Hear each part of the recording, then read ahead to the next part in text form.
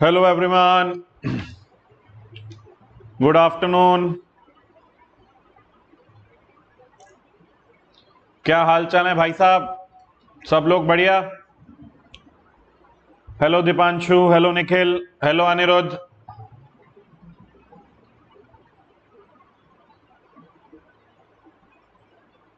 hello Akshat जल्दी जल्दी सब बच्चे इकट्ठे हो जाओ। पढ़ाई शुरू करनी है। आज हमारी आईटीसी की सेकंड क्लास है।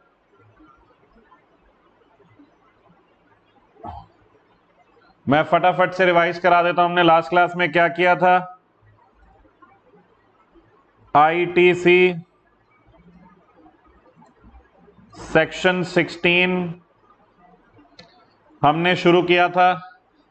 सेक्शन 16 का सबसेक्शन वन टू टू का क्लॉज ए बी सी और डी फिर टू की proviso first proviso second proviso third proviso फिर उसके बाद इसका subsection three subsection four subsection five ये हमने सारा कुछ पढ़ा था सेक्शन सिक्सटीन के अंदर। आई होप आपको यह याद होगा। हाँ जी गुड आफ्टरनून हर्षिता, कुणाल, रिया, ललित। उसके बाद हमने शुरू किया सेक्शन 17 सबसेक्शन फाइव, जो कि किसका है? Blocked credits. Blocked credits.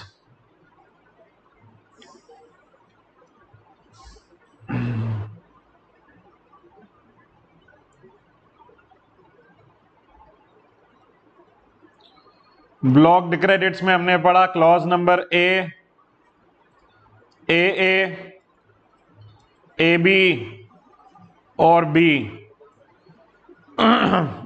आपका ए क्लॉज था मोटर कार्स के रिगार्डिंग ए ए क्लॉज था आपका वेसल्स एंड एयरक्राफ्ट्स के रिगार्डिंग ए, बी क्लॉज था insurance and repair and maintenance services of motor car and vessels. आपका बी था। Outdoor catering beauty treatment health club etcetera ये मैं overall ideas बता रहा हूँ सिर्फ़ सिर्फ़ कीवर्ड्स रिवाइज करा रहा हूँ कि हमने किया है। हमने क्लॉज सी से अब शुरू करना था। ठीक है? तो अपने नोट्स खोलते हैं और क्लॉज सी पे आते हैं और बात करते हैं वर्क्स कॉन्ट्रैक्ट सर्विस की। सब लोग ध्यान देंगे बेटा वर्क कॉन्ट्रैक्ट सर्विसेज़ की बात कर रहे हैं यहाँ पे हम। वर्क्स कॉन्ट्रैक्ट सर्विसेज़ कौन सी होती हैं? और उन पे जो आप जीएसटी पे करेंगे, वो आपको क्रेडिट नहीं मिलेगा। ये आपके दिमाग में बात बैठनी चाहिए। वर्क्स कॉन्ट्रैक्ट सर्विसेज़ पहले कौन सी होती हैं? पहले समझेंगे। एक जनरल मीनिंग अगर हम वर्क्स कॉन्ट्रैक्ट सर्विस का देखें सो उसका मतलब ये होता है कि आपको एक ही कॉन्ट्रैक्ट में goods as well as services का काम चल रहा है।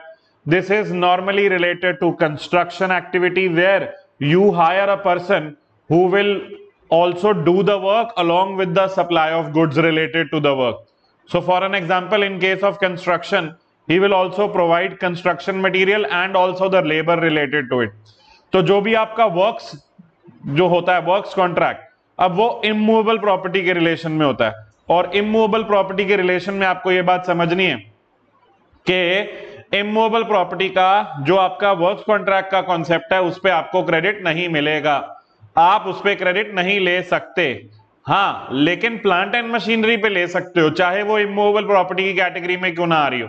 तो प्लांट एंड मशीनरी पे अलाउड है। तो देखिए works contract services when supplied for construction of an immovable property However, credit is allowed where it is an input service for further supply of work contract service, where it is supplied for construction of plant and machinery. देखो ये वाला first वाला point तो generic हो चुका है ये मैं आपको स्टार्टिंग में ही समझा दिया था कि कोई भी ब्लॉक्ड क्रेडिट अगर आप फर्दर सप्लाई कर रहे हैं तो आपको क्रेडिट मिल जाएगा तो ये बात मोटर कार में भी थी, एक बात एयरक्राफ्ट में और वेसल में भी थी, ये सर्विसिंग वाले में भी थी, ये फ़ूड वगैरह में भी थी और ये यहाँ पे भी है। तो मान लीजिए यहाँ पे अगर हम एक बात सोचते हैं कि एक एक्स वाई जेड लिमिटेड है, इसने अपनी ऑफ़िस बिल्डिंग कंस्ट्रक्ट करने का कॉन्ट्रैक्ट पीक्यूआर लिमिटेड को दिया है। ठीक है? और आगे पीक्यूआर लिमिटेड ने सब कॉन्ट्रैक्टिंग करी है। सब कॉन्ट्रैक्ट दिया है आगे किसी छोटे मोटे काम के लिए लेट से मार्बल लगाने के लिए या लिफ्ट लगाने के लिए ऑफ़िस में, ठीक है? और वो दिया है उन्होंने एबीसी लिमिटेड को। ठीक है? तो सवाल सबसे पहले क्या है? बड़े ध्यान से सुनिएगा। ठीक है? अब X Y Z limited P Q R limited को जीएसटी पे करेंगे। और ये जो पी क्यू आर अब ध्यान से सुनिएगा ना यहाँ पे। तो हाँ जी, श्रुति जी हेलो हाँ तो बड़े ध्यान से सुनना है कि जो एक्स वाई जेड लिमिटेड है, ठीक है, उन्होंने यहाँ पे ऑफ़िस बिल्डिंग बनाने के लिए जीएसटी जो पे किया होगा एक्स वाई जेड लिमिटेड उसका आईटीसी नहीं ले पाएगा। क्लियर है? लेकिन आगे जो पी क्यू आर लिमिटेड ने एबीसी लिमिटेड को यहाँ पे जीएसटी पे किया होगा, उसका ये आईटीसी ले पाएगा, क्योंकि ये वही सर्विसेज़ आगे प्रोवाइड कर रहे हैं। तो आपको ये कॉन्सेप्ट समझना है कि अगर आप सिमिलर सर्विसेज़ आगे प्रोवाइड कर रहे हैं where it is an input service for further supply of works contract service आप क्रेडिट ले सकते हैं, या फिर प्लांट एंड मशीनरी के केस में आप क्रेडिट ले सकते हैं। प्लांट एंड मशीनरी का मतलब क्या है? Plant and machinery means apparatus equipment and machinery fixed to earth by foundation or structural support that are used for making outward supply of goods or services or both and includes such foundation and structural support but excludes land building or any other civil structure telecommunication tower pipeline laid outside the factory premises तो ये तीन चीज़ें आपकी plant and machinery की definition में नहीं आती हैं कौन सी कौन सी चीज़ें आपकी land and building and any other civil structure आपका टेलीकम्युनिकेशन टावर और पाइपलाइन लेड आउटसाइड। कंस्ट्रक्शन में रिकंस्ट्रक्शन रेनोवेशन एडिशन और ऑल्टरेशन और repair to the extent of capitalisation to the said immovable property यानी ऐसा खर्चा जो आप कैपिटल एक्सपेंडिचर कह सकते हैं, वो सब इंक्लूड होता है। तो इस बात को भी आपने ध्यान में रखना है। तो क्लॉज बी को बड़े ध्यान से clause C sorry clause C को बड़े ध्यान से आप पढ़ेंगे बेटा मेरे साथ। क्लॉज सी जो है आपका, वो आपसे ये कह रहा है कि वर्क्स कॉन्ट्रैक्ट की अगर आपने सर्विसेज़ ली हैं फॉर कंस्ट्रक्शन अब ये जो कंस्ट्रक्शन है, इसके अंदर रिपेयर रेनोवेशन सब आ गया। और इमूवेबल प्रॉपर्टी में हमने क्या क्या हटा दिया? इमूवेबल प्रॉपर्टी से हमने प्लांट एंड मशीनरी हटा दिया। समझ में आ रही है? प्लांट एंड मशीनरी हटा दिया। ये बात समझेंगे? प्लांट एंड मशीनरी से हमने क्या क्या हटा दिया? Land and building and other civil structure telecommunication tower pipelines laid outside the premises of the factory inside वाली चलेंगी आउटसाइड वाली दिक्कत है, वो नहीं। ठीक है ना? तो ये बात आप ध्यान रखेंगे। ये एनालिसिस तो हमने डिस्कस कर ही लिया है। फिर बात आते हैं क्लॉज डी पे।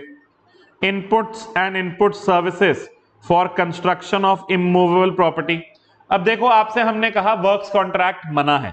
वर्क्स कॉन्ट्रैक्ट हमने आपको समझाया कि एक ही आदमी से आप सारा काम ले रहे हो गुड्स का भी और सर्विसेज़ का भी तो आपको क्रेडिट नहीं मिलेगा। तो आपके इस तेज दिमाग में आइडिया आता है कि अच्छा वर्क्स कॉन्ट्रैक्ट का नहीं मिलेगा ना। तो मैं एक काम करता हूँ, मैं अपने आप कंस्ट्रक्शन करता हूँ, एक अलग आदमी से मटेरियल ले लूँगा, अलग आदमी से सर्विसेज़ ले लूँगा। तो मतलब मिस्टर ए को सिर्फ़ सर्विसेज़ का कॉन्ट्रैक्ट देता हूँ, मिस्टर बी को सिर्फ़ गुड्स का कॉन्ट्रैक्ट देता हूँ। मैं वर्क्स कॉन्ट्रैक्ट नहीं दे रहा, क्योंकि वर्क्स कॉन्ट्रैक्ट तो कंबाइंड है। तो आप ये चालाकी अगर करोगे तो क्लॉज डी आपको वहाँ पे रोक देगा कि इमूवल प्रॉपर्टी के केस में अगर आपने इनपुट अलग इनपुट सर्विसेज़ अलग, दोनों लिए हैं अलग अलग लिए तो भी क्रेडिट ब्लॉक्ड है। अगर आप कंस्ट्रक्शन करवा रहे हो ऑन योर ओन अकाउंट अपने आप करवा रहे हो तो भी क्रेडिट ब्लॉक्ड है। तो गुड्स और सर्विसेज़ और both received by taxable person for construction of an immovable property on his own account अब ऑन इज़ ओन अकाउंट का मतलब क्या कि आप खुद कंस्ट्रक्शन करवा रहे हो आपने वर्क्स कॉन्ट्रैक्ट सर्विसेज़ नहीं दी है। आपने किसी को आउटराइट कॉन्ट्रैक्ट नहीं दिया है कंस्ट्रक्शन का। इंक्लूडिंग व्हेन सच गुड्स और सर्विसेज़ और both are used in course of furtherance of business However, credit is allowed only if they are supplied for construction of plant and machinery. ये बात समझ में आ रही है? तो यहाँ पे ध्यान रखिएगा कि अगर आप ओन अकाउंट तो यहाँ पे जो मेन कीवर्ड है वो है ऑन इज़ ओन अकाउंट वाला। ये आपको समझना है। तो क्लॉज सी आपका था वर्क्स कॉन्ट्रैक्ट इमोबल प्रॉपर्टी से रिलेटेड और क्लॉज डी आपका है इनपुट और इनपुट सर्विसेज़ अलग से इमोबल प्रॉपर्टी से related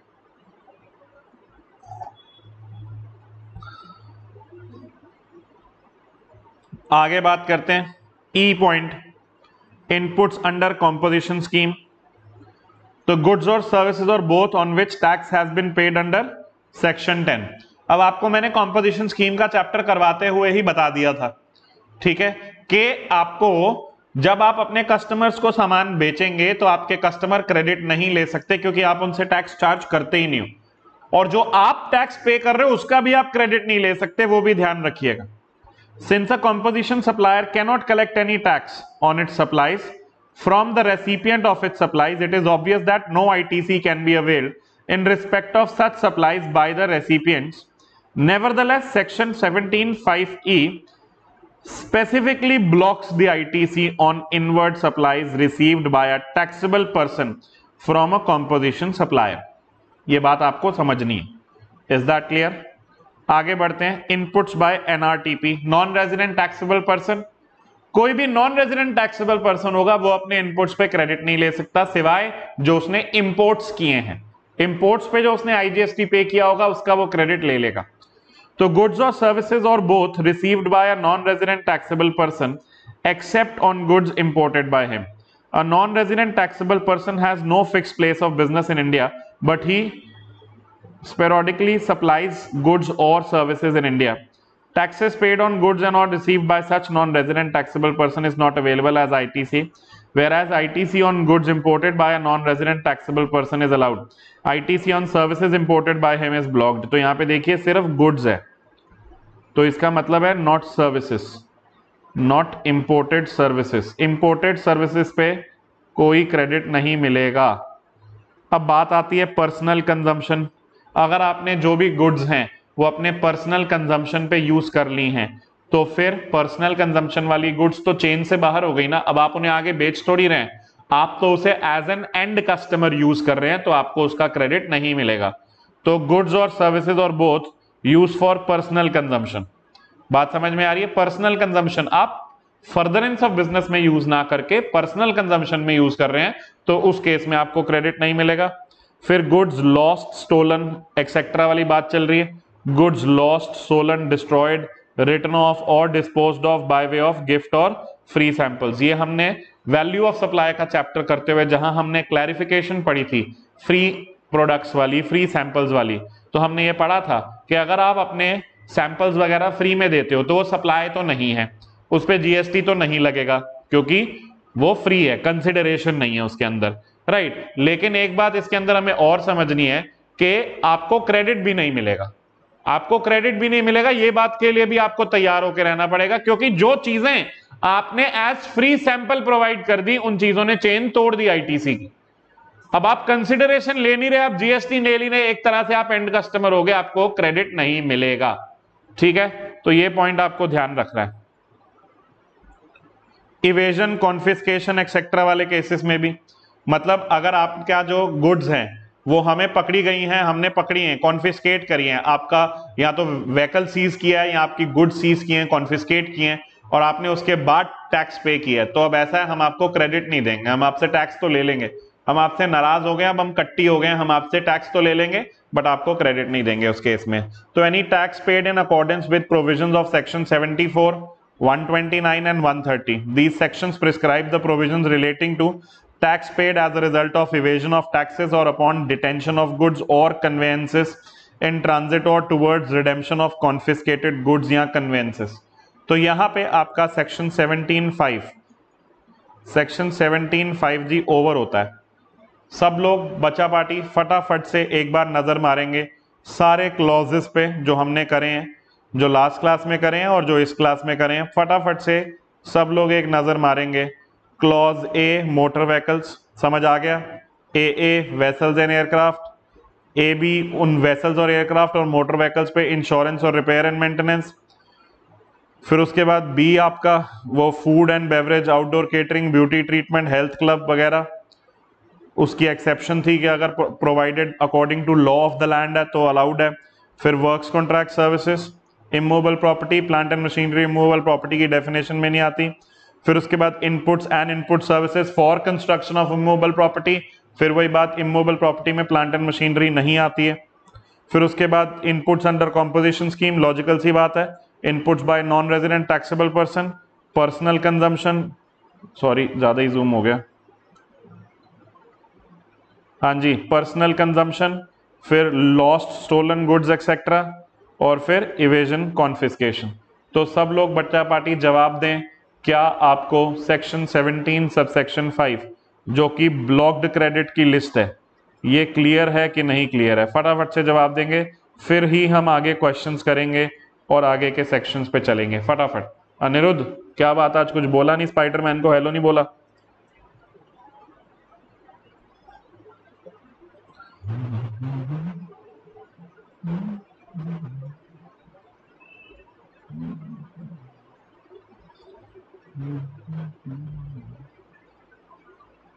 Spoderman. Very nice. Nice English.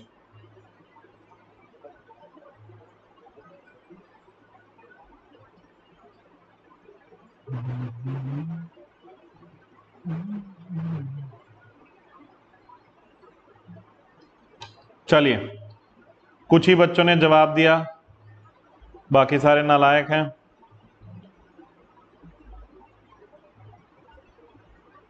अभी आगे बढ़ते हैं, चलो।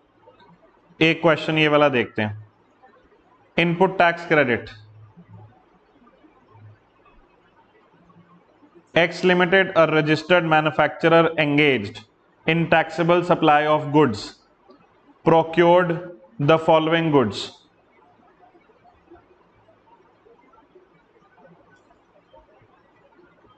during the month of October. The same has been capitalized in the books of accounts of X Limited. Determine the amount of input tax credit available by giving necessary explanation for treatment of various items.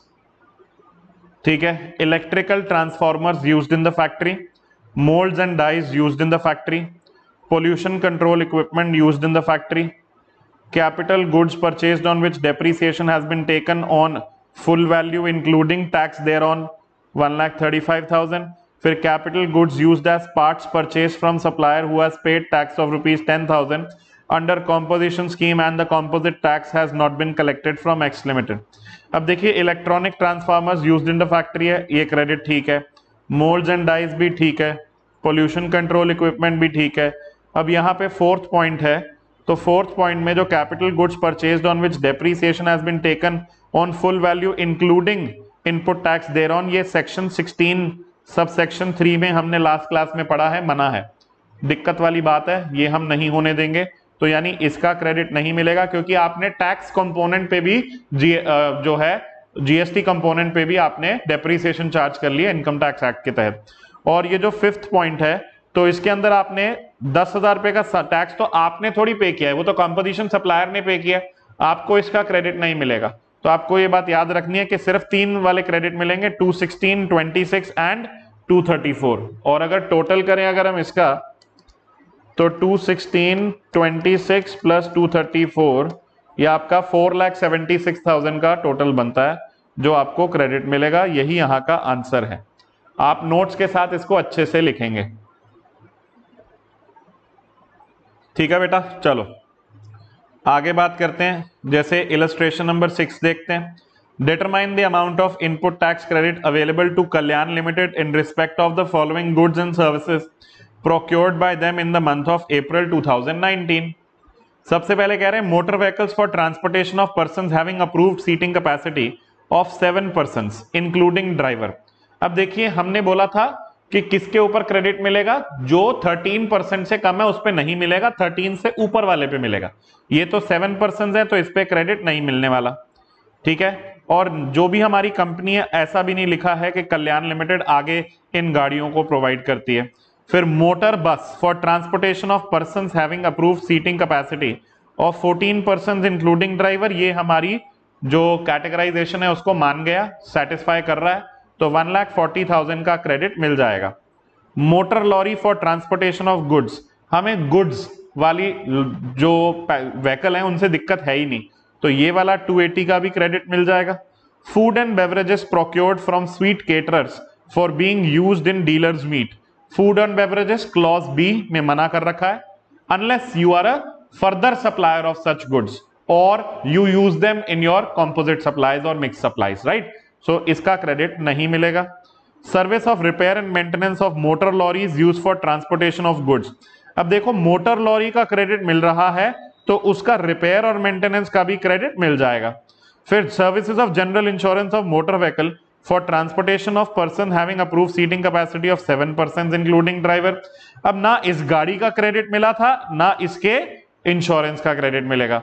फिर services of servicing of motor vehicle for transportation of persons having seating capacity of 14 percent इसका credit मिल गया था तो इसकी servicing का भी credit मिल जाएगा। तो मैंने जितनों पे टिक मारे हैं, वो क्रेडिट मिल जाएँगे सर्कल करके। तो यानी आपको क्रेडिट मिल जाएगा 140 का, फिर 280 का, फिर 36 का, और फिर 54 का। यानी टोटल हो गया आपका फाइव लाख टेन थाउज़ेंड का क्रेडिट यहाँ पे आपको मिल जाएगा। तो देख लेते हैं आंसर जी फाइव लाख टेन थाउज़ेंड ही है। हमने सब जगह सही क्रेडिट लिया है। आई होप आपको ऐसे क्वेश्चन समझ में आ रहे होंगे बेटा। ठीक है? चलिए, आगे बढ़ते हैं।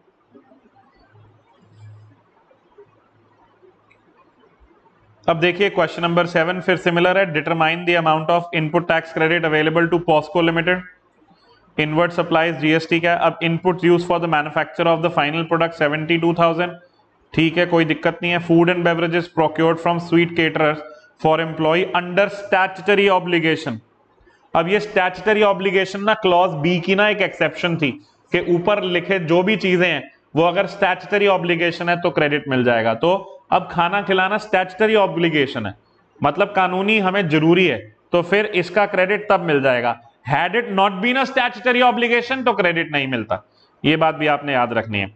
फिर goods use for providing services during warranty period ठीक है? Goods use for providing services during warranty period हमें कोई दिक्कत ही नहीं है। नॉर्मल सिनेरियो है। किसी ने मना तो करा नहीं। Goods use for setting up telecommunication tower being immovable property अब देखिए स्पेसिफिकली हमने पढ़ा कि जो इमूवेबल प्रॉपर्टी है, उसको बनाने के लिए कोई भी इनपुट्स या इनपुट गुड्स आप खरीदते हैं तो उस पर जीएसटी का क्रेडिट नहीं मिलेगा। ठीक है? अब हमने पढ़ा कि प्लांट एंड मशीनरी में मिल जाएगा। और प्लांट एंड मशीनरी की डेफिनेशन में एक्सक्लूजन पढ़ी थी हमने। सबसे पहली बात लैंड एंड बिल्डिंग और एनी अदर सिविल स्ट्रक्चर दूसरा टेलीकम्युनिकेशन टावर ठीक है ना? ये भी पढ़ा था ना टेलीकम्युनिकेशन टावर और तीसरा पाइपलाइन आउटसाइड द फैक्ट्री तो टेलीकम्युनिकेशन टावर आपका प्लांट एंड मशीनरी नहीं है, यानी इमोबल प्रॉपर्टी है। और इमोबल प्रॉपर्टी के लिए जो भी सामान खरीदोगे क्रेडिट नहीं मिलेगा। तो यानी नब्बे हज़ार का क्रेडिट हमें नहीं मिल सकता। ये बात ध्यान में रखनी है। फिर input stolen from the factory store भाई इनपुट्स बिक गए के चोरी हो गए। सोचो जरा, बेच पाए आप उन्हें? अगर आप बेचते तो चेन कंप्लीट होती, यहाँ पे चोरी हो गए। अब चोरी हो जाए, आग लग जाए, आपने फेंक दिए या फ्री सैंपल दे दिए क्रेडिट नहीं मिलेगा। ये बात आपने याद रखनी है। तो इस थर्टीन थाउज़ेंड टू हंड्रेड का भी क्रेडिट नहीं मिलेगा। यानी इस क्वेश्चन में seventy two thousand plus forty eight thousand plus twelve thousand का क्रेडिट मिलेगा, एक लाख बत्तीस हज़ार का और हमारा आंसर एक लाख बत्तीस हज़ार ही है। इज़ दैट क्लियर ऐसे क्वेश्चन कर सकते हैं कि नहीं? अब देख लो, ये भी आपका इलस्ट्रेशन नंबर एट सिमिलर है। आराम से आप कर सकते हैं नाइन सिमिलर है। अब सारे तो मैं बेटा यहाँ कराने नहीं वाला ना तो इस बात का ध्यान रखेंगे।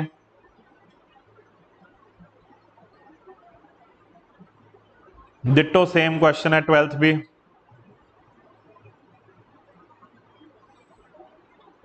इलस्ट्रेशन नंबर थर्टीन भी आपका सेक्शन सिक्सटीन से रिले है, जिसपे वन लाख रुपीस का जीएसटी पे किया है।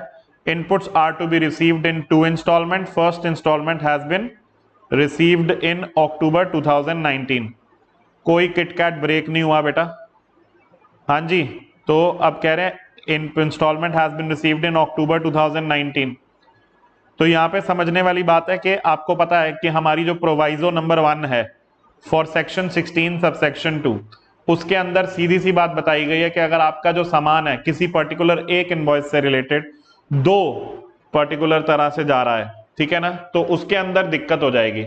आपका जो इन्वॉइस है, दो, वो इंस्टॉलमेंट अगर सारी नहीं मिली है तो आप क्रेडिट नहीं ले सकते हैं। तो यहाँ पे ये बता रहे हैं कि एक ही इंस्टॉलमेंट मिली है तो यहाँ पे क्रेडिट नहीं मिलेगा। तो ये वाला क्रेडिट नहीं ले सकते। फिर कैपिटल गुड्स कह रहे हैं Z S capitalize the capital goods at full invoice value inclusive of GST as it will avail depreciation on the full invoice value तो फिर इसका नहीं मिलेगा। सेक्शन 16 सब सेक्शन 3 ने मना किया है कि अगर आपने जीएसटी को कैपिटलाइज कर दिया और depreciation for the purpose of income tax act 1962 के लिए आप उस वैल्यू को इंक्लूसिव ऑफ़ जीएसटी लेंगे तो हम जीएसटी क्रेडिट नहीं देंगे। फिर कह रहे हैं टू लाख फिफ्टी थाउज़ेंड है one invoice dated twenty January 2019 in which GST payable was rupees 50,000 had been received in October 2019. अब देखो यहाँ पे बड़े ध्यान से कि ये जो इनवॉइस है ये 20 जनवरी 2019 का है। ठीक है? और आपका जो इनवॉइस आया है वो अक्टूबर 2019 में आया है। आपको सेक्शन 16 सब सेक्शन 4 में last date of taking credit बताई हुई है which is the last date of return in the month of for the month of September और ठीक है ना? For the month of September or the date of annual return date of filing of annual return whichever is earlier तो यहाँ पे आप सोचिए ना सब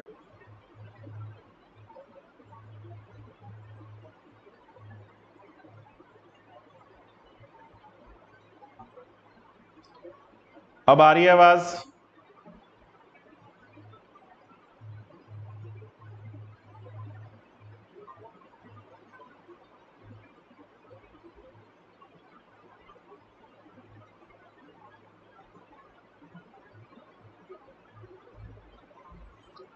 अब यहाँ पे देखो फिफ्टी थाउज़ेंड का जो इनवॉइस है, वो हमें अक्टूबर में मिला सितंबर से पहले मिल जाता तो ठीक था। तो यहाँ पे हम दो लाख पचास हज़ार में से दो लाख पे ले लेंगे, पचास हज़ार पे नहीं लेंगे। ये बात आपको ध्यान रखनी है। दो लाख पे ले लेंगे, पचास हज़ार पे नहीं लेंगे।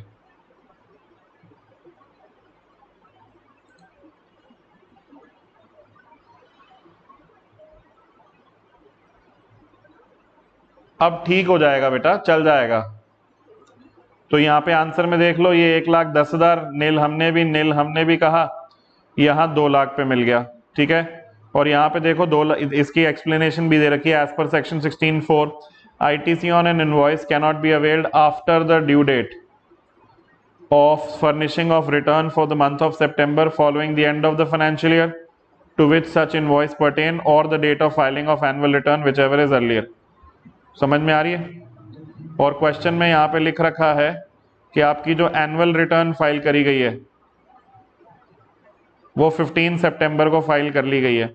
तो यहाँ पे आपके अक्टूबर महीने में जो आया है तो अक्टूबर महीने से पहले ही एनुअल रिटर्न फ़ाइल हो गई है। इस वजह से वो पचास हज़ार रुपए का जो बाद में इन्वॉइस मिला है, आप उसका क्रेडिट नहीं ले सकते हैं। ये पार्ट ध्यान रखिए बेटा प्लीज़ चलिए नेट सही हो जाएगा टेंशन वाली बात नहीं है, सब सही चल जाएगा। यहाँ तक के क्वेश्चंस हो गए तो आगे बढ़े हम।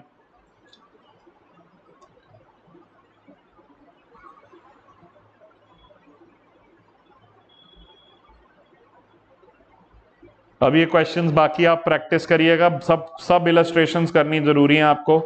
सब इलस्ट्रेशंस करनी कंपलसरी है। अच्छा एट्थ का फ़र्स्ट पॉइंट बता देता हूँ। जी, प्रिया जी, नहीं तो मेरे को मारेंगी। एट्थ का फ़र्स्ट पॉइंट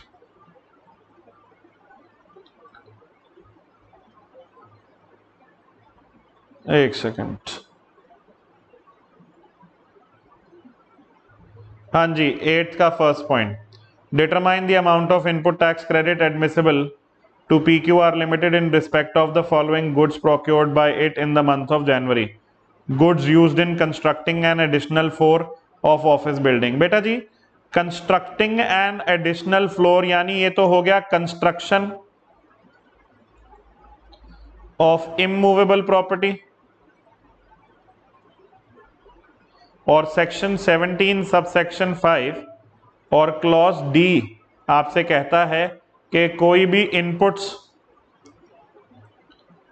आपने अगर खरीदे हैं या इनपुट सर्विसेज़ हैं, जो आपने ली हैं for construction of immovable property उसका क्रेडिट आपको नहीं मिलेगा।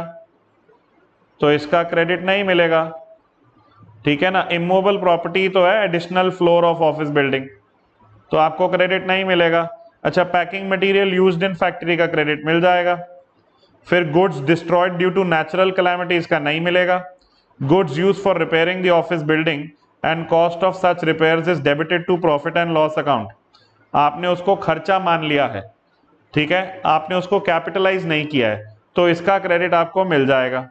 अगर आप कैपिटलाइज कर देते, उसको बिल्डिंग की कॉस्ट में ऐड कर देते तो फिर आपको क्रेडिट नहीं मिलता। Paper for photocopying machine used in administrative office credit मिल जाएगा। फिर गुड्स गिवन एज गिफ्ट इसका क्रेडिट नहीं मिलेगा।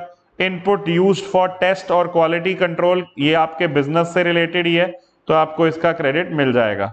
ये बात समझ में आ रही है? तो यहाँ पे मेन जो है ना, दो पॉइंट्स हैं। एक अगर सोची जाए पॉइंट नंबर वन है और फिर उसके बाद पॉइंट नंबर फोर है जो मेन है। ठीक है? ये बात देख लो आप। आपका इलस्ट्रेशन एट क्लियर हो गया प्रिया जी। इसका अगर हम आंसर देखें तो क्या क्या है? हमें एक तो छह हज़ार का क्रेडिट मिल रहा है, फिर एक बारह हज़ार का क्रेडिट मिल रहा है, एक साढ़े नौ सौ का और एक पंद्रह छह सौ का। Total answer thirty four thousand five fifty है।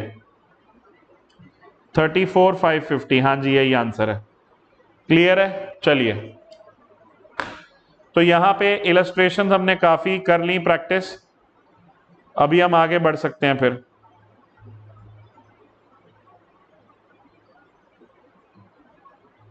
अब हमने सेक्शन 17 के बाकी सब सेक्शंस देखने हैं. सेक्शन 17 के बाकी सब सेक्शंस हैं हमारे पास. पेज नंबर 268 पे शुरू हो रहा है. Apportionment of credit and blocked credits ठीक है? Apportionment for credit and blocked credits आपको बड़े ध्यान से मेरी बात समझनी है। इससे पहले कि मैं आपको कुछ भी पढ़ाऊं सेक्शन 17 में आपने एक मेरी बात ध्यान से सुनिएगा। मान लीजिए एक कंपनी है A B C private limited ठीक है? ये इनपुट्स खरीदती है आई वन और इनपुट्स को मैन्युफैक्चर करके आगे बना देती है आउटपुट ओवन जो ओवन आउटपुट है, वो एक एग्जेम्ट आउटपुट है। ठीक है तो इनकी जो आउटपुट वाली बात है, जो अब ये आउटपुट आगे दे रहे हैं, वो एग्जेम्ट है। तो अब मेरी बात बड़े ध्यान से सुनिएगा आई वन जो है, वो टैक्सेबल है। यानी मैन्युफैक्चरर जो है एबीसी प्राइवेट लिमिटेड वो जब आई वन इनपुट खरीदता होगा तो वो जीएसटी पे करता होगा। तो वो जो जीएसटी पे करता होगा, उसे उसका आईटीसी नहीं मिल सकता। ये बात अपने दिमाग में पहले बैठाएँ। इस चीज़ को रिवाइज करें, दिमाग में बैठाएँ कि अगर आपका जो आउटपुट है, वो एग्जेम्प्ट है तो उस आउटपुट को बनाने के लिए जो भी आपने इनपुट्स खरीदे हैं, और अगर उन इनपुट्स पे आपने कोई जीएसटी पे किया है तो आपको इन इनपुट्स का आईटीसी नहीं मिलेगा। अगर सिंपल लॉजिकली हमारी भाषा में जो हम यूज़ करते आए अपनी क्लास में, उस बेसिस पे समझना चाहो तो भैया क्यों नहीं मिलेगा क्रेडिट क्योंकि चेन टूट गई। आगे आपने अपने कस्टमर से टैक्स ही नहीं लेना। अब आप उस आईटीसी को एडजस्ट कहाँ करोगे? रिफंड तो गवर्नमेंट देने से रही because you are the last block in that chain आप एंड कस्टमर हो गए ना अपने टैक्स के हिसाब से।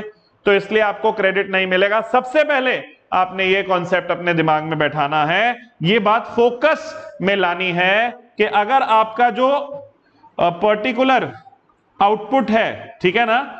उस पर्टिकुलर आउटपुट की बात करें, वो एग्जेम्प्ट है। उस आउटपुट को बनाने के लिए कोई भी आप इनपुट यूज़ कर रहे हैं तो उस इनपुट पे पे किया गया जीएसटी का आपको आईटीसी नहीं मिलेगा।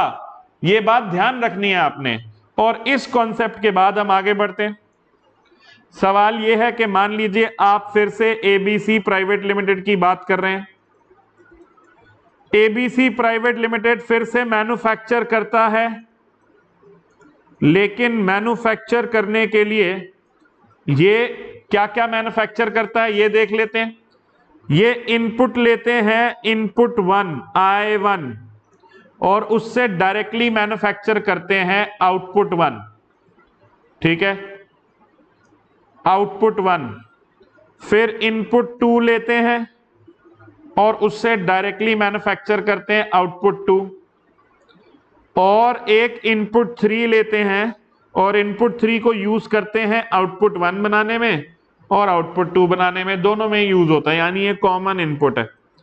तो सवाल अब क्या है? सबसे पहला अगर आपने कहा कि O1 एग्जेम्प्ट है O2 टैक्सेबल है। O1 एग्जेम्प्ट है O2 टैक्सेबल है। तो अब कॉन्सेप्ट समझिएगा कि I1 जो है, ये एक्सक्लूसिवली ऐसा प्रोडक्ट बनाने में यूज़ होता है जो एग्जेम्प्ट है। तो इसका आईटीसी आप नहीं क्लेम कर सकते। फिर दूसरी बात, जो I2 है वो एक ऐसा आउटपुट बनाने में आप एक्सक्लूसिवली यूज़ करते हैं जो टैक्सेबल है। तो इसका आईटीसी आप बहुत खुशी से ले लो जी, कोई दिक्कत वाली बात नहीं है। लेकिन सवाल तब जाके खड़ा हो जाता है जब आप I3 के आईटीसी की बात करते हैं, क्योंकि I3 जो है, ये कॉमन इनपुट है। ये कॉमन इनपुट है, ये ऐसा कॉमन प्रोडक्ट है जो आप taxable as well as exempt supply दोनों के लिए यूज़ कर रहे हैं। ठीक है? तो इस पर्टिकुलर आई थ्री के ITC का क्या करना है? ये अब हम पढ़ने वाले हैं। सेक्शन 17 सबसेक्शन 1 और आगे के सबसेक्शंस में डिफरेंट डिफरेंट सिनेरियोज में। सबसे पहले तो आपको ये बात समझ में आई।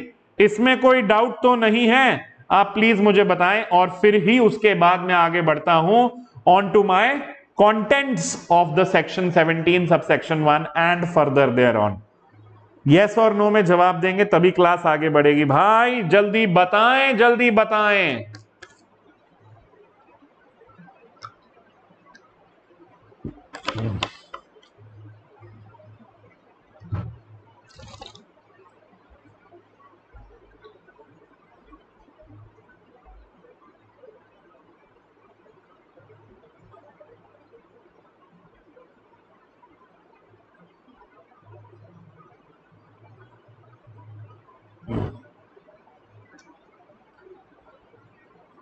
चलिए, आते हैं पॉइंट पे कह रहे हैं गुड्स सबसेक्शन वन है।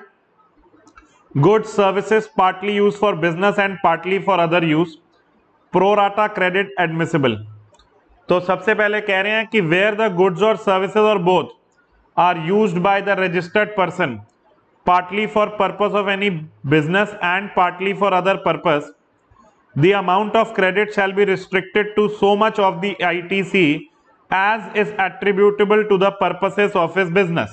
तो वो कह रहे हैं कि भाई, जितना पोर्शन आपके आईटीसी का एट्रीब्यूटेबल है टू बिज़नेस यूज़ उतना ही आपको क्रेडिट मिलेगा।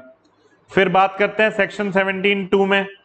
ITC restricted to goods services used for taxable supplies if the same are use for effecting taxable as well as exempt supplies तो आगे क्या होगा? अब यहाँ पे समझते हैं where the goods or services or both are use by registered person partly for effecting taxable supplies including zero rated supplies under this act or under the integrated goods and services tax and partly for effecting exempt supplies under the said act the amount of credit shall be restricted to so much of the I as is attributable to the said taxable supplies, including zero rated supplies. ye baat samajh mein aa rahi hai please मेरी बात focus करके समझेंगे, मैं जो आपको बताने वाला हूँ। सेक्शन 17 सब सेक्शन वन में क्या बोला? इन्होंने बोला, मान लो आपका कोई इनपुट है। ठीक है? अब ध्यान से ना वर्ड्स पे भी जाना है।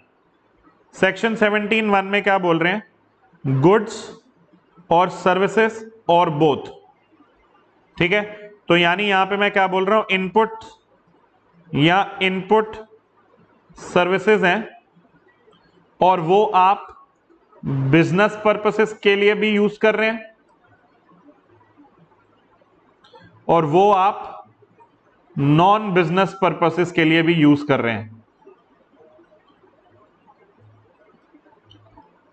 तो आपको क्रेडिट कितना मिलेगा? प्रोपोर्शनेट क्रेडिट मिलेगा only relevant to business purposes तो ITC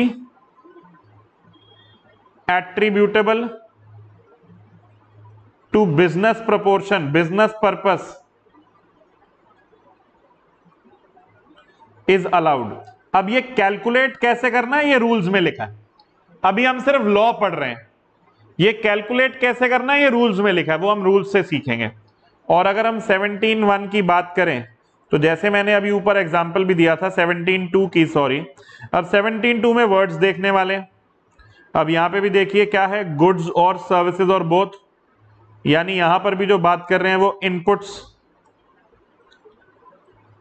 या इनपुट सर्विसेज़ की बात कर रहे हैं। अब मान लीजिए वो टैक्सेबल सप्लाई में भी यूज़ होते हैं।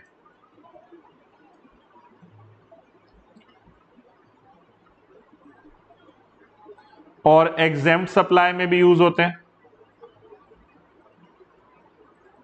और टैक्सेबल सप्लाई में साथ में वो इंक्लूड कर रहे हैं ज़ीरो रेटेड को भी।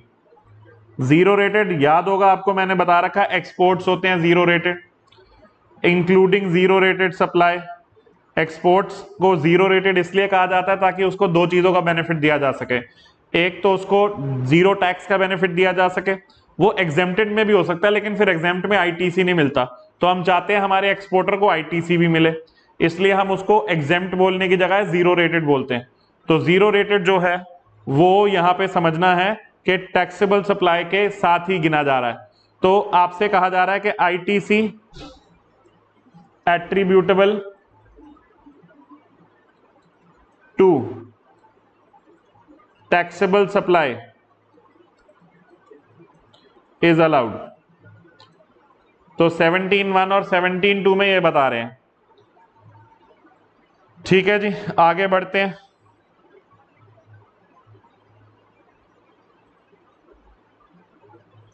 Inclusion in exempt supply and valuation the value of exempt supply under 17.2 two shall be such as may be prescribe and shall include supplies on which recipient is liable to pay tax on reverse charge basis transaction in securities sale of land and subject to paragraph five B of schedule two sale of building, that is, sale of land and sale of building when entire consideration is received after completion certificate issued by the competent authority तो वो कह रहे हैं कि हम 17.2 में जो exempt वाला पार्ट पढ़ रहे हैं एग्जेम्प्ट सप्लाई इसके अंदर क्या क्या इंक्लूड होगा? जैसे टैक्सेबल में ज़ीरो रेटेड इंक्लूड हो रहा है। तो वैसे ही यहाँ पे कह रहे हैं कि सप्लाईज अब यहाँ पे देखिए the value of exempt supply under section 17.2 shall be such as may be prescribe and shall include आपकी वो सप्लाईज जिन पे रेसिपियंट को टैक्स पे करना है। यानी आपको उसका भी क्रेडिट नहीं मिल रहा। ठीक है ना? पर्पसली अगर सोचें ट्रांजैक्शन इन सिक्योरिटीज के लिए भी क्रेडिट नहीं मिल रहा और सेल ऑफ़ लैंड जहाँ पे जीएसटी नहीं पे होना। जहाँ पे जो आपकी जो कंसिडरेशन है, वो कंप्लीशन सर्टिफिकेट या फ़र्स्ट ऑक्यूपेशन के बाद आपको रिसीव होनी है, वो नहीं होना। ठीक है? Value of supply not to include schedule three activities except sale of land and building ठीक है? तो जो शेड्यूल थ्री है शेड्यूल थ्री क्या नेगेटिव लिस्ट है? तो वो नहीं इंक्लूड होगा। मतलब वो आएगा नहीं सिवाय लैंड एंड बिल्डिंग वाला कॉन्सेप्ट के।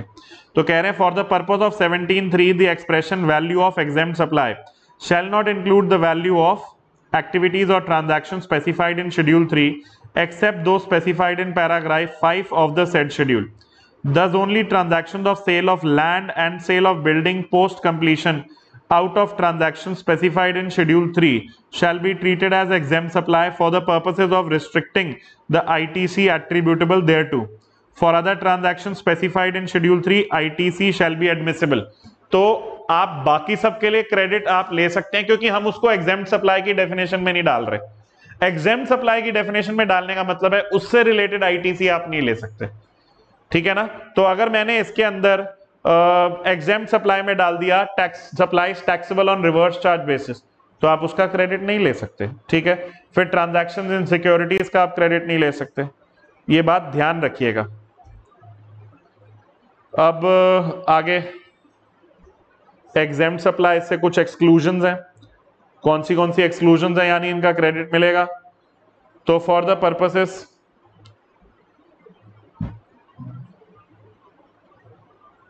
अच्छा ये नोट भी रह गया। The value of exempt supply in respect of land and building is the value adopted for paying stamp duty and for security is one percent of the sale value of such security तो अगर land and building के लिए लेना है तो जो stamp duty value है वो लेंगे और सिक्योरिटीज के लिए वन परसेंट लेंगे। ठीक है? Exempt supply to include supplies on RCM applies फिर the value of exempt supplies shall include supply on which tax is paid under reverse charge basis supplies in respect of which the outward supplier is not liable to pay tax but the recipient is made liable to pay tax then due to section 17.3 for the limited purposes of input tax credit to the supplier who is not made responsible to pay tax due to RCM provisions the value of these supplies will be regarded as exempt supplies while arriving at the net available input tax credit तो RCM वाली जो goods है उनके लिए भी आप exempt supply वाला concept ही लगाएँगे। एग्ज़ाम सप्लाई से एक्सक्लूजन कौन सी कौन सी हैं? ये भी हम देख लेते हैं। The value of service by way of accepting deposit extending loans or advances in so far as the consideration is represented by way of interest or discount except in case of banking company or a financial institution including a non banking financial company engage in supplying services by way of accepting deposits extending loans or advances तो banking company को छोड़ के, ठीक है? Banking company को छोड़ के normal बंदा जब ये काम कर रहा है तो हम उसको एक्सक्लूड कर देंगे एग्ज़ाम से। The value of supply of services by way of transportation of goods by vessel from customs station of clearance in India to place outside India वो भी नहीं, उसका क्रेडिट भी मिल जाएगा। अब attributable credit to be determine in accordance with rules 17 अब ये सेक्शन 17 6 है, वो क्या कहता है कि रूल्स के अकॉर्डिंग काम करना है। मैंने बताया था ना अभी 17.1 और 17.2 में तो हमने सिंपली ये पढ़ा है, ठीक है, कि कौन सा कौन सा क्रेडिट मिलना है कौन सा कौन सा क्रेडिट कैसे मिल, अब कितना कैलकुलेट करना है वो हमें रूल्स के अकॉर्डिंग आएगा। ठीक है तो मैनर ऑफ़ डिटर्मिनेशन आ गया हमारा रूल 42 ये जो मैनर ऑफ़ डिटर्मिनेशन है, ये मैं आपको बता रहा हूँ, इसके ऊपर प्रैक्टिकल क्वेश्चन आने के चांसेस कम है। प्लीज़ इसको ध्यान से समझेंगे मैनर ऑफ़ डिटर्मिनेशन बहुत इंपॉर्टेंट है, ठीक है? लेकिन इसके ऊपर प्रैक्टिकल क्वेश्चन आने के चांसेस कम ही हैं। आ गया तो बहुत अच्छी बात है, हमने कर रखा है। ठीक है? तो सबसे पहले हमने क्या करना है? सबसे पहले हमने क्या करना है? स्टेप नंबर वन देखिए। अभी हम क्या कर रहे हैं? नॉर्मल सिनेरियो उठा रहे हैं। ठीक है? ITC treatment where input input services are use for taxable as well as exempt supplies तो यहाँ पे इनपुट है और इनपुट सर्विसेज़ है। कैपिटल गुड्स के लिए अलग है। ये सिर्फ़ इनपुट्स और इनपुट सर्विसेज़ के लिए है। कैपिटल गुड्स के लिए नहीं है। तो रूल 42 सब रूल वन जो है, ये कैपिटल गुड्स के लिए नहीं है। तो ये कैपिटल गुड्स यहाँ लिख के मैंने काट दिया। कैपिटल गुड्स के लिए नहीं है। ये बात याद रखनी है आपने सबसे पहले, ठीक है? ये सिर्फ़ इनपुट और इनपुट सर्विसेज़ के लिए है। कह रहे हैं the input tax credit in respect of inputs or input services which attract the provision of section 1712 being partly used for purpose of business and partly for other purposes or being partly used for effecting taxable supplies including zero rated supply and partly for effecting exempt supplies shall be attributed to the purposes of business or for effecting taxable supplies in the following manner namely Abhinav एक भी question नहीं है मैं तो बता ही रहा हूँ ना कि एक भी क्वेश्चन नहीं है ना पेपर में ज़्यादा इंपॉर्टेंट है ये प्रैक्टिकल क्वेश्चन ये फाइनल लेवल पे इंपॉर्टेंट है। लेकिन एक बात आप भी समझो कि ये सारे रूल्स आपके स्टडी मटेरियल में दे रखे हैं। एग्ज़ाम्पल सहित दे रखे हैं। प्रैक्टिकल क्वेश्चन नहीं दे रखा, लेकिन एग्ज़ाम्पल सहित दे रखे हैं। तो जो चीज़ आपके मटीरियल में दे रखी है, वो मैं कैसे छुड़वा दू? समझो ना आप, मैं नहीं छुड़वा सकता। आप अपने रिस्क पे छोड़ना चाहते हो तो आपकी मर्ज़ी है। मैं एज अ टीचर आपको करवाऊँगा। और ये कोई इतना मुश्किल भी नहीं है कि आप इसको छोड़ दें। समझ में आ रही है? मुझे करवाना है। मैं नहीं कहता एक मिनट के लिए भी कि इसको छोड़ के चले जाना। ओके? हमें एक बेसिक आइडिया होना चाहिए। और ज़्यादा कोई मुश्किल नहीं है। 17 वन और 17 टू को रिलेट करो रूल 42 सब रूल वन से। याद रखना है आपने, ठीक है? तो यहाँ पे अगर मैं कहूँ,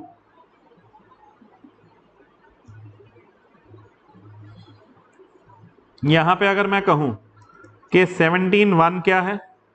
17.1 वाला कहता है कि बिज़नेस में भी यूज़ करते हो और नॉन बिज़नेस में भी यूज़ करते हो। तो मुझे कौन सा वाला नहीं चाहिए? मुझे नॉन बिज़नेस वाला नहीं चाहिए। और 17.2 कहता है कि आप अपने जो इनपुट्स या इनपुट सर्विसेज़ हैं, उन्हें टैक्सेबल सप्लाई प्रोवाइड करने में भी यूज़ करते हो। और टैक्सेबल सप्लाईज में आप इंक्लूड करोगे ज़ीरो रेटेड और उन्हें आप एग्ज़ाम सप्लाई प्रोवाइड करने में भी यूज़ करते हो। ठीक है? तो आपको एग्ज़ाम सप्लाई वाला नहीं चाहिए।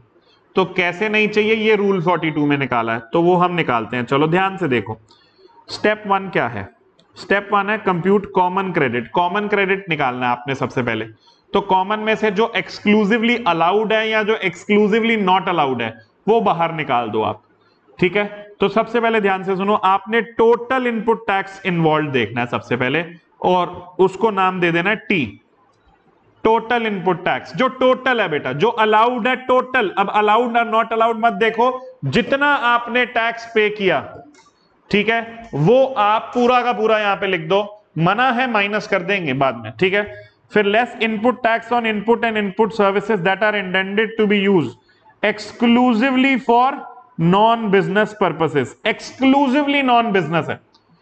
ठीक है? तो टी वन वाला आपको क्रेडिट मिलना ही नहीं है। तो ये माइनस करो। फिर input tax and input services that are intended to be use exclusively for exempt supplies तो एक्सक्लूसिवली एग्ज़ाम वाला टी टू माइनस करो। ये भी नहीं मिलना, ये भी नहीं मिलना माइनस करो।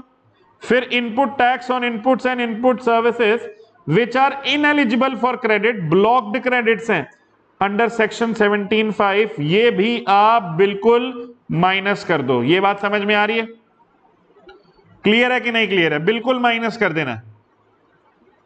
ओके अच्छा आगे अब क्या करना है? आईटीसी आ जाएगा आपका credited to electronic credit ledger और ये आपका आ जाएगा सी वन ये आपका इलेक्ट्रॉनिक क्रेडिट लेजर में क्रेडिट कर दिया जाएगा। फिर उसमें से आप जो पक्का मिलना ही मिलना है, वो वाला हटा दो। यानी जो एक्सक्लूसिवली आपने यूज़ किया है for providing taxable services including zero rated supplies तो ITC on input and input services that are intended to be use exclusively for taxable supplies including zero rated supplies ये टी फोर है बेटा। ये T four है और T four आप इसमें से माइनस कर दो। तो आपका बचा C2 ये C2 है जिसको आपने अपोर्शन करना है ये मिक्स वाला काम है। अब इसके अंदर बिज़नेस और नॉन बिज़नेस दोनों हैं और टैक्सेबल और एग्जेम्प्ट दोनों हैं। तो आपको इसमें से कौन सा वाला उड़ाना है? नॉन बिज़नेस वाला और एग्जेम्प्ट वाला। ये बात याद रखेंगे। ठीक है? अच्छा T1, T2, T3 and T4 shall be determined and declared by registered person at the invoice level in form GSTR two अभी तक फॉर्म जीएसटीआर टू जो है एक्टिव नहीं है प्रेवलेंट नहीं है, आपको मैं पहले भी बता चुका हूँ जीएसटीआर वन और थ्री बी चल रहा है सिर्फ़। And at summary level in GSTR three B तो थ्री बी चल रहा है। Where the amount of input tax relating to inputs और input services use partly for purposes other than business and partly for effecting exam supply has been identified and segregated at the invoice level by the registered person the same shall be included in T1 and T2 respectively and the remaining amount of credit on such input or input services shall be included in T1. The portion identified as pertaining to taxable supplies in C2 will be allowed as ITC. अब कैसे पता लगे कि कितना नहीं allow करना ineligible credit निकालना compute credit attributable to exempt supplies ineligible credit by apportionment of common credit तो वो कैसे करना है बेटा जी? The amount of ITC attributable to exam supplies to be denoted at D one D one करेंगे उसको calculate कैसे करेंगे? D one is equals to E divided by F into C two C two जो आपका total amount है, उसको आप अपने exam turnover divided by total turnover से करेंगे। ठीक है? तो कह रहे हैं the amount of tax credit the aggregate value of exam exam supplies ये थोड़ा ना उल्टा सीधा लिखा हुआ है। कॉमन क्रेडिट से मल्टीप्लाई करना है, ठीक है? तो बेसिकली आपको अगर मैं लिख के बता दूँ the amount of tax credit attributable supplies be denoted as D one the aggregate value of exam supplies during tax period that is E divided by total turnover तो मैं ये ढंग से लिख देता हूँ आपके लिए। ठीक है formula the amount of input tax credit आप ये ढंग से लिख लो।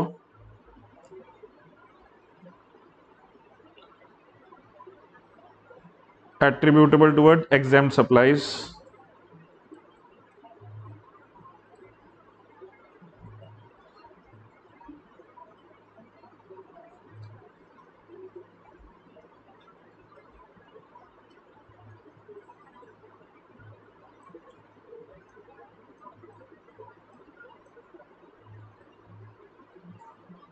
is equals to aggregate value of exempt supplies during the tax period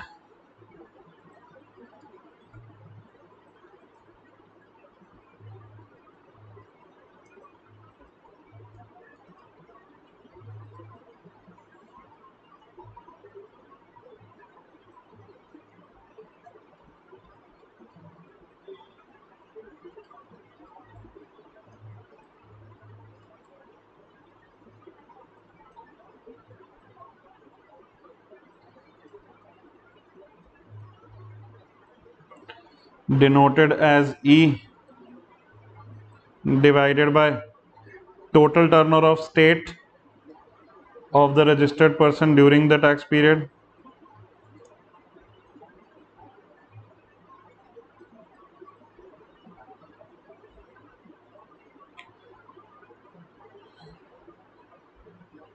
Total turnover in the state of the registered person during the tax period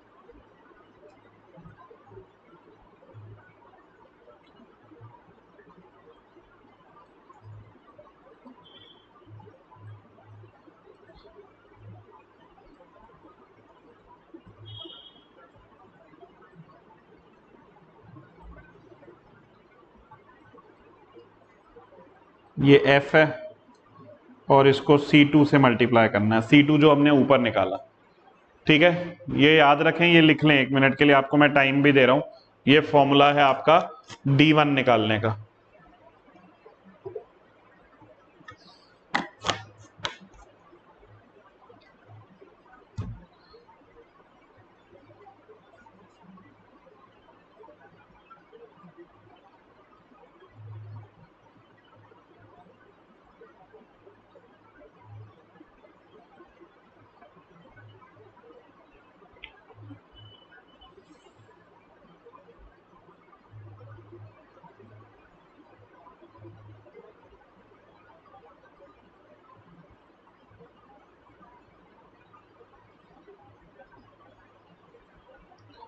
चलिए, हो गया ये। देखो, यही फॉर्मूला है। अगर आपको टर्नओवर डिटेल्स अवेलेबल नहीं है value for the last tax period में be use where the registered person does not have any turnover during the set tax period और for the aforesaid information is not available the value of E by F shall be calculated by taking values of E and F of the last tax period for which details of such turn are available previous to month during which set values of e slash f is to be calculated. समझ में आ रही है? अच्छा अब उसके बाद क्या बात करना है? नेक्स्ट पॉइंट आपने देखना है कि आपका जो नॉन बिज़नेस पर्पस है, उसके लिए आप D2 निकालेंगे, वो सिंपली 5 परसेंट ऑफ़ C2 हो जाएगा और एलिजिबल क्रेडिट क्या होगा? आपका C3 C3 क्या है? C2 is minus D one और D2 तो आपको ये बात ध्यान रखनी है। D1 और D2 आपको नहीं मिलेगा तो आप C2 में से इसे माइनस कर देंगे। प्लीज़ इस बात को ध्यान रखिए। और ऐसे ही आप हर महीने रिटर्न फ़ाइल करते रहेंगे। उसके बाद आप फाइनल कैलकुलेशंस करेंगे, जो कि पूरे ईयरली बेसिस पे होंगी, और फिर जो भी आपका ज़्यादा या कम का अमाउंट होगा, वो आप फाइनलाइज कर लेंगे। तो एक बार अगर मैं इसको रिवाइज कराऊं तो सबसे पहले आपको देखना है टी ये क्या है? टोटल टैक्स पेड एक तरह से टोटल टैक्स पेड फिर इसमें से माइनस करना है आपने टी वन ये है ITC for goods exclusively used for non business purpose फिर माइनस करना है टी टू टी टू है आपका ITC for goods exclusively for exam supplies goods और सर्विसेज़ दोनों होगा। ये भी याद रखेंगे एग्ज़ाम सप्लाईज फिर माइनस करना है आपने टी थ्री टी थ्री है आपका ब्लॉक्ड क्रेडिट्स ब्लॉक्ड क्रेडिट्स आपका आएगा सेवनटीन फाइव वाले। फिर माइनस करना है आपने टी फोर जो आपका ITC exclusively for taxable goods तो आपको ये वाला क्रेडिट तो टी थ्री टी फोर वाला मिलना ही है। और टी फोर को माइनस करने के बाद आपके पास आएगा एक्चुअली यहाँ पे आ जाता है आपका सी वन और फिर उसमें से आप माइनस करते हैं टी फोर तो आ जाता है आपका सी टू कॉमन क्रेडिट ठीक है? ये बात याद रखेंगे. अच्छा फिर सी टू जो आपका आ जाता है कॉमन वाला, उसमें से आपने डी वन और डी टू माइनस करने हैं. तो सबसे पहले आपका D1 क्या है? C2 को मल्टीप्लाई करना है E स्लैश एफ़ से. ठीक है? C2 को मल्टीप्लाई करना है E स्लैश एफ़ से. E आपका exempt turnover in the state divided by total turnover in the state और फिर डी टू आपका आ जाता है five percent of C two ठीक है? ये बात याद रखनी है इन एलिजिबल अब आपका एलिजिबल कितना है? सी थ्री कितना है भैया? C two minus D one plus D two तो ये याद रखिएगा। इतना आपको समझ में आ गया फटाफट से। यस और नो लिख के बताएँगे प्लीज़ ठीक है जी प्लीज़ यस और नो लिख के बताएँगे।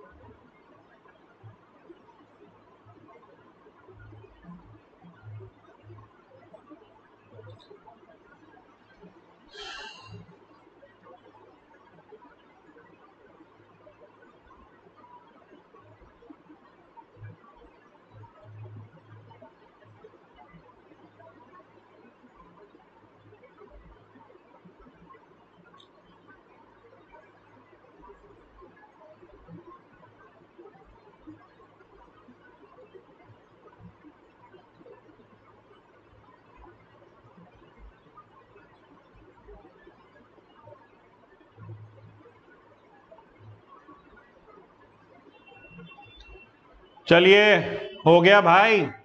सबको समझ में आ गया? अब इसमें इलस्ट्रेशन जो है, करके देख लेते हैं। A garment factory receives a government order for making uniforms for defence personnel this supply is exam from tax under a special notification the fabric is separately procured for the supply but thread button and lining material for collars are the ones which are used for other taxable products of the factory. The turnover of other garments of the factory and exempted uniform in July is rupees 8 crore and rupees 2 crore respectively. ठीक है the ITC on thread button and lining material procured in July is rupees 5000 25000 and 15000 respectively calculate the eligible ITC on thread button and lining material ये आपको देखना है चलिए जरा ध्यान से देखेंगे thread button and lining material पे आपको कितना क्रेडिट मिल रहा है, ये हम प्रैक्टिकल क्वेश्चन करके अपने कॉन्सेप्ट को और क्लियर कर लेते हैं। ठीक है बेटा? देखना पड़ेगा हमें कि हमें कितना आगे क्रेडिट उन पर्टिकुलर कॉन्सेप्ट में मिल रहा है जो हमारे थ्रेड वगैरह वाले हैं। ठीक है ना? जो कॉमन यूसेज वाले हैं। तो वो देखना है आपने। क्लियर है? चलिए, सबसे पहले तो आप कॉमन क्रेडिट देखो, यहाँ पे कितना है। कॉमन क्रेडिट सीधे सीधे पाँच हज़ार, पच्चीस हज़ार और पंद्रह हज़ार वाला है। ठीक है ना?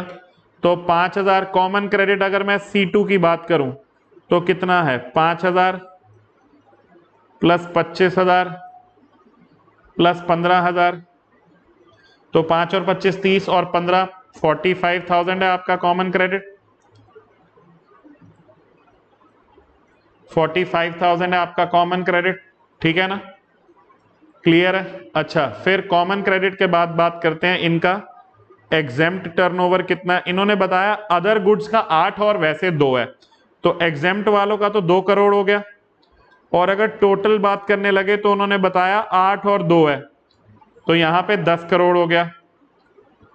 समझ में आ रही है? तो फिर यहाँ पे अगर हमें डी वन जो हम निकालते हैं, वो निकालना है तो वो कैसे निकालेंगे? डी वन जो डी वन निकालते हैं, वो कैसे करते हैं? जो कॉमन क्रेडिट होता है फोर्टी फाइव थाउज़ेंड उसको ई बाय एफ़ से मल्टीप्लाई कर देते हैं। टोटल एफ़ है और एग्जेम्प्ट वाला ई e है। तो यानी forty five thousand into two by ten so that comes out to be nine thousand rupees तो नाइन थाउज़ेंड रुपीज़ का जो आपका टर्नओवर है, वो हम मान के चलेंगे इन एलिजिबल है। और वो रिवर्स कर दिया जाएगा। और फोर्टी फाइव थाउज़ेंड में से नाइन थाउज़ेंड का जो आपका टर्नओवर है माइनस करके थर्टी सिक्स थाउज़ेंड का टर्नओवर आपको अलाउ कर दिया जाएगा।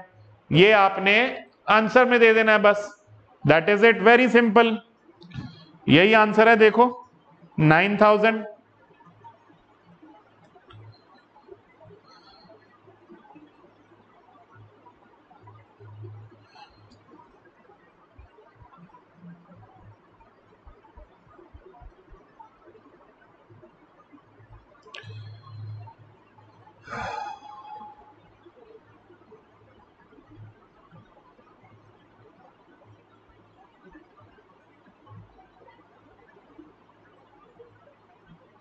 बड़े वाले क्वेश्चन इनके करने की ज़रूरत नहीं है, आपको आप इनको स्किप कर सकते हैं। इतने बड़े क्वेश्चन हम उम्मीद नहीं कर रहे हैं। अब बात करते हैं manner of determination of input tax credit in respect of capital goods and reversal thereof in certain cases अब देखिए, अब यहाँ पे बात आ गई कैपिटल गुड्स की। तो कैपिटल गुड्स अगर एक्सक्लूसिवली यूज़ हैं फॉर टैक्सेबल सप्लाईज तो तो भैया क्रेडिट मिल जाएगा। लेकिन अगर कैपिटल गुड्स जो हमारी हैं, वो partly for taxable supply use की जा रही है partly for exam supply use की जा रही है। तो उस केस में लफड़ा है। उस केस में हमें दिक्कत है कि भैया कैसे क्रेडिट लेना है, कैसे नहीं लेना तो वो प्रोसीजर हम देखेंगे। क्योंकि सेक्शन 17 वन और टू में तो कह दिया कि नॉन बिज़नेस और एग्ज़ाम वाला प्रपोर्शन नहीं लिया जाएगा। तो वो कैलकुलेट कैसे होगा? इनपुट और इनपुट सर्विस का तो रूल 42 वन में बता दिया। तो अभी हम रूल 43 की तरफ़ बढ़ते हैं। Attribution of attribution of credit of capital goods use for partly for business and partly for non business purposes partly for effecting taxable supply and partly for effecting exam supply तो फिर वो कैसे निकालना है? सबसे पहले आपने क्या करना है कि कैपिटल गुड्स जो exclusively use for non business purposes हैं या फॉर एग्ज़ाम सप्लाईज हैं, उसका आईटीसी नहीं लेना है। फिर capital goods exclude for use for effecting exclusively use for effecting taxable supplies including zero rated supply है, उसका आईटीसी ले लेना है। और फिर जो अदर कैपिटल गुड्स है ITC to be credited in electronic ledger उसका आईटीसी आप क्रेडिट कर लेंगे।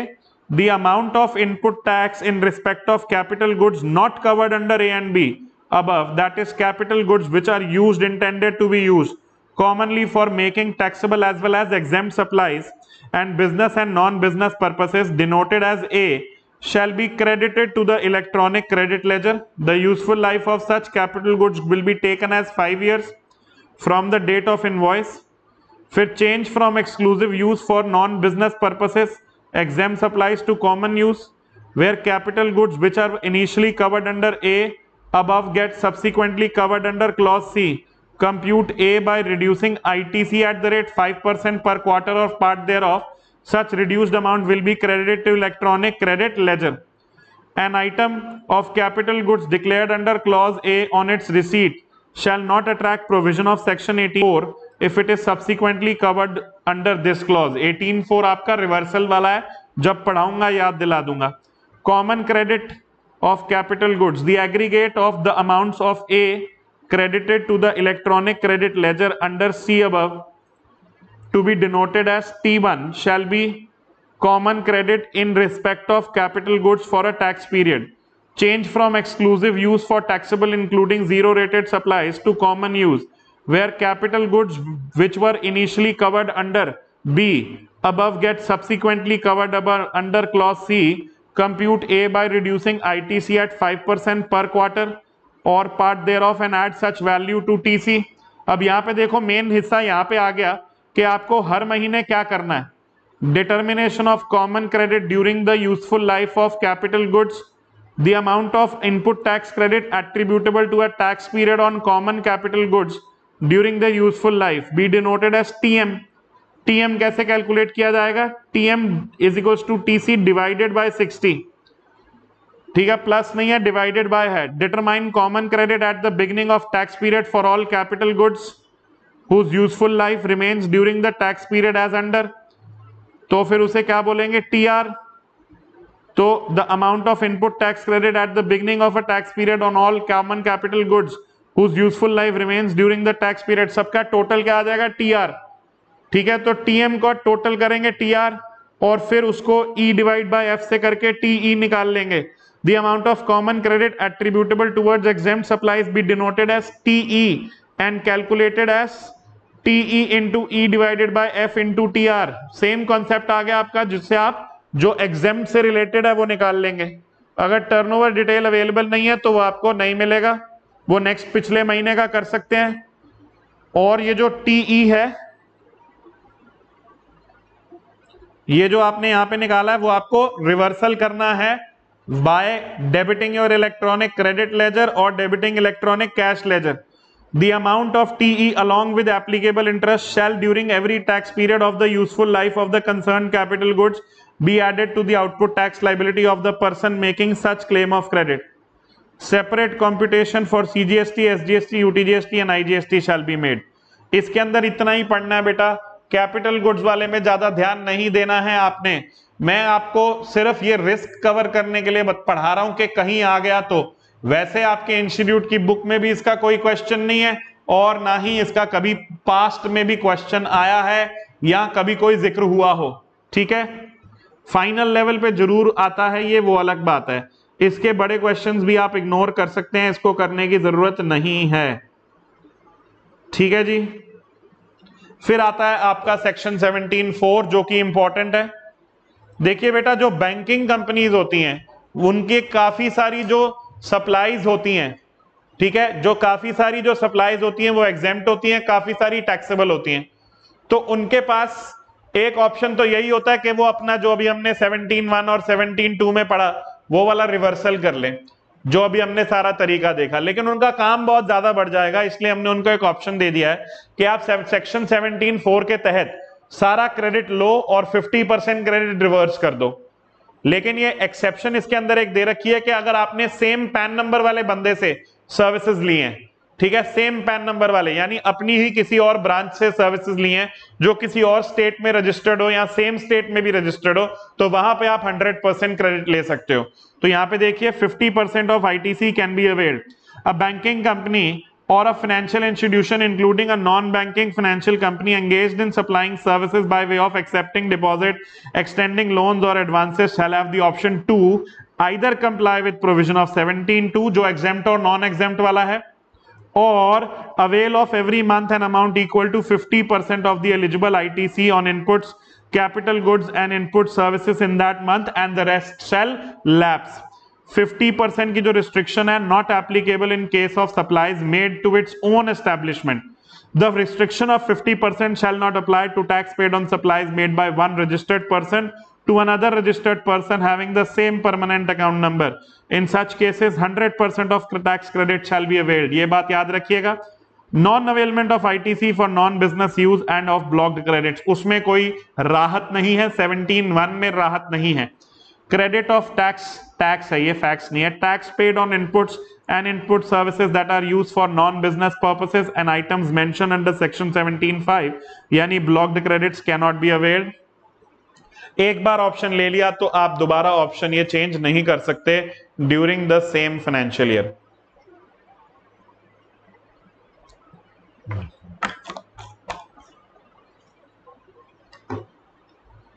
ठीक है जी।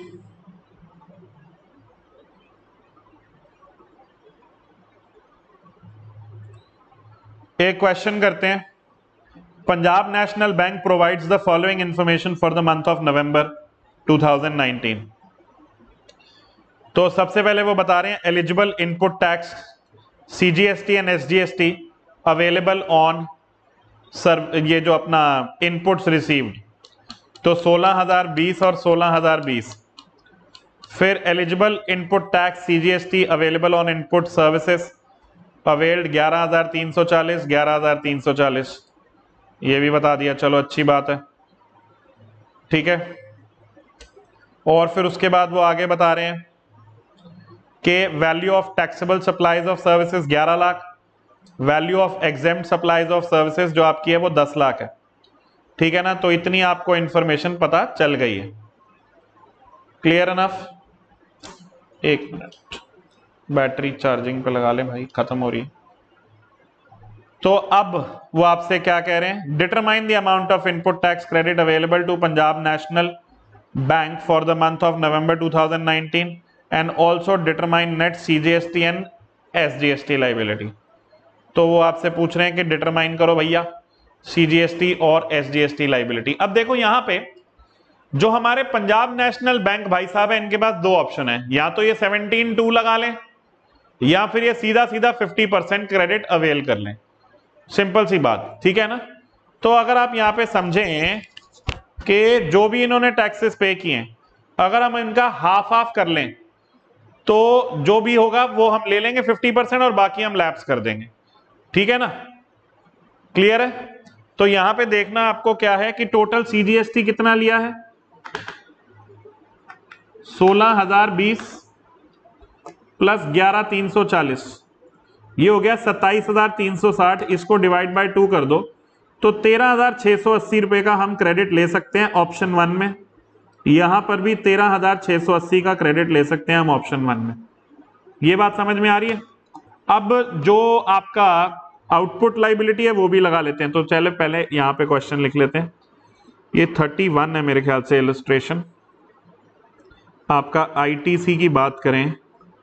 तो आप कितना आईटीसी ले रहे हैं? सीजीएसटी का और एसजीएसटी का? टोटल आईटीसी अवेलेबल हमने कितना करा था?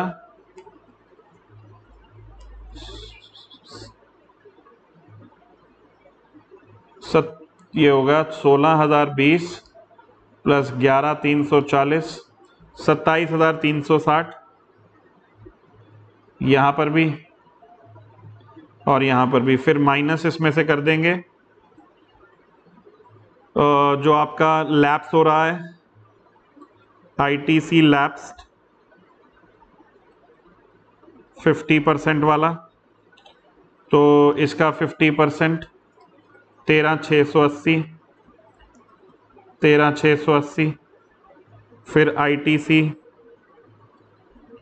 credited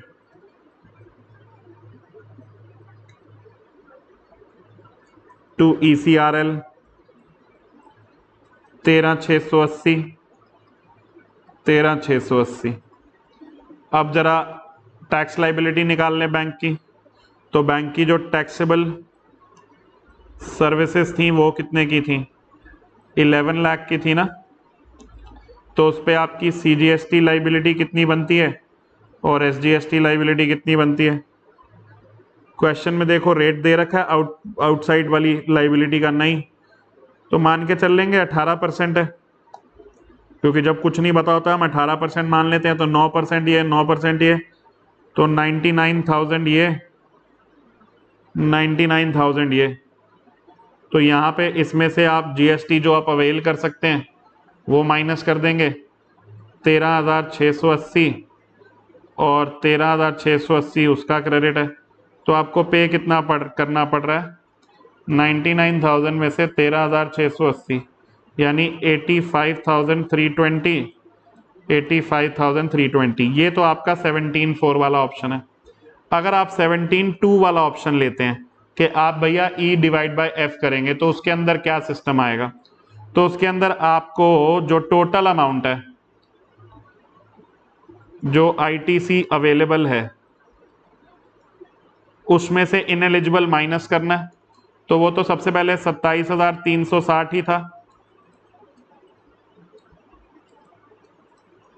सत्ताईस हज़ार तीन सौ साठ। अब सत्ताईस हज़ार तीन सौ साठ में से आप माइनस करोगे, जो इन एलिजिबल है। और इन एलिजिबल आप कैसे माइनस करोगे? सत्ताईस हज़ार तीन सौ साठ इंटू ग्यारह, नहीं, दस लाख। डिवाइडेड बाय टोटल इक्कीस लाख। सत्ताईस तीन सौ साठ इंटू दस डिवाइडेड बाय इक्कीस। ये आ गया तेरह हज़ार अट्ठाईस। तो तेरह हज़ार अट्ठाईस वाला आपको इनएलिजिबल हो गया। तो तेरह हज़ार अट्ठाईस पॉइंट फाइव है। तो तेरह हज़ार उनतीस ही कर देते हैं। तो ये आपको इनएलिजिबल हो गया। तो आपको एलिजिबल कितना हो गया? इसके अंदर से देख लेते हैं।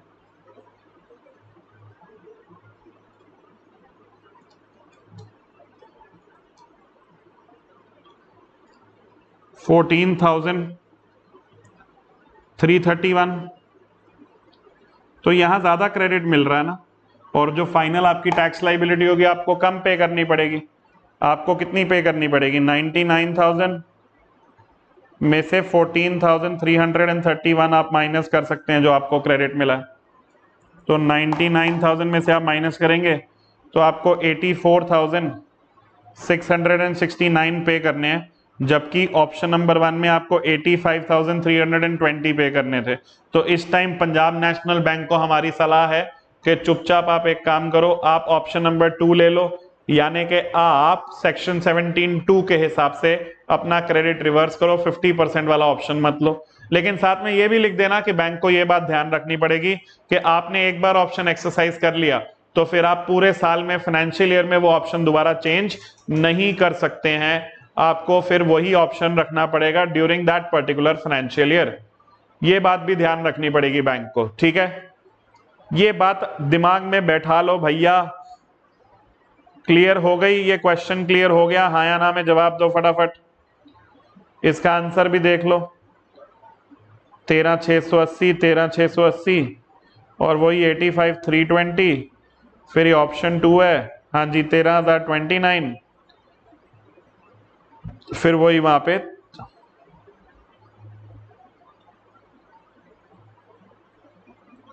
eight four six six nine ये नेक्स्ट क्वेश्चन आप अपने आप कर सकते हैं। कोई दिक्कत नहीं है। फिर बात आ जाती है आपकी utilization of ITC utilization of ITC के कॉन्सेप्ट बेटा जी बहुत आपके दिमाग में क्लियर होने चाहिए। ठीक है? प्लीज़ ध्यान से सुनिएगा। Utilization of ITC utilization of ITC देखिए। सबसे पहले आईजीएसटी का क्रेडिट जो है, वो पहले यूटिलाइज किया जाएगा आईजीएसटी को पे करने में। फिर अगर बैलेंस बचेगा तो सीजीएसटी को पे करने में और एसजीएसटी को पे करने में। UTGST at the option of taxable person अब यहाँ पे देखिए, यहाँ पे सीजीएसटी और एसजीएसटी में कोई ऑर्डर डिफाइंड नहीं है। ये बात बड़ी इंपॉर्टेंट है। सबसे पहले क्या आईजीएसटी का जो क्रेडिट है, वो आप किसको यूटिलाइज करने में यूज़ करेंगे? आईजीएसटी में। फिर उसके बाद आप सीजीएसटी या एसजीएसटी यूटीजीएसटी में आप यूज़ कर सकते हैं, लेकिन उसका ऑप्शन आपके पास है। ठीक है ना? और सीजीएसटी और एसजीएसटी यूटीजीएसटी का credit can be utilize only after credit of IGST is fully utilize ये बात याद रखनी है।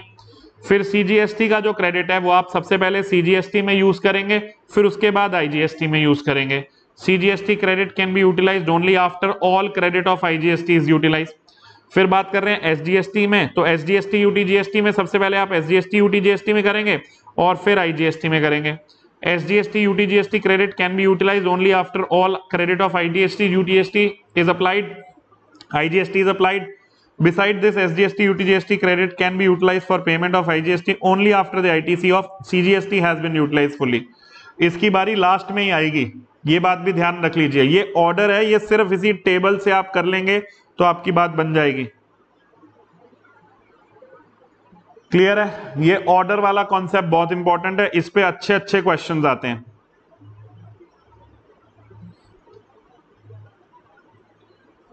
इसके बाद हमने ऑर्डर के क्वेश्चंस देख लेंगे एक दो। और उसके बाद हमने सेक्शन 18 करना है, फिर हमारा ये चैप्टर खत्म हो जाएगा। ये बाकी हम फिर नेक्स्ट क्लास में कर लेंगे, कल की क्लास में। अभी आपके पास करने के लिए काफ़ी काम हो गया।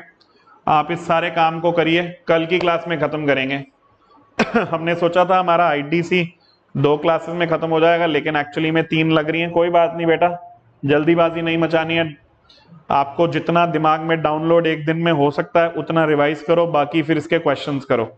ठीक है? तो घर पे बैठ के अभी तक आपके पास आज इस इस पर्टिकुलर चैप्टर में बहुत सारे क्वेश्चंस हो गए करने वाले और रिवीजन करने वाली। तो सेक्शन 17 पूरा हमने खत्म कर लिया है और ऑर्डर ऑफ़ आईटीसी का ध्यान रखना है। उसके नेक्स्ट क्वेश्चन दो तीन जो है, वो भी करने हैं।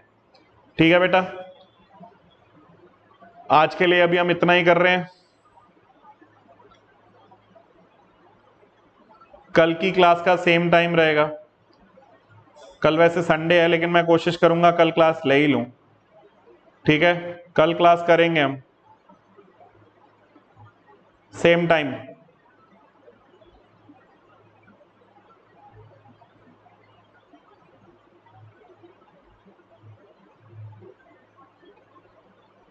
Okay?